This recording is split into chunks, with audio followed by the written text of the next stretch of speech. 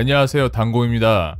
오늘의 영상은 알쓸 신팁, 알아두면 쓸데없지만 신박한 팁을 공개하기 위한 영상입니다.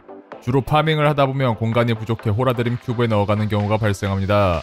인벤이 꽉 차고 큐브도 꽉 차면 포탈 타서 상점에 팔기 위해 왔다 갔다 하거나 그마저도 귀찮으면 그냥 안 먹고 버리는 경우가 있습니다. 하지만 이 방법을 사용하신다면 도라에몽 마냥 상상의 주머니로다가 아이템을 주울 수 있습니다.